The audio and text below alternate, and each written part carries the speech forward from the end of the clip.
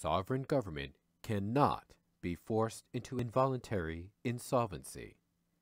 It can always afford to make all payments as they come due.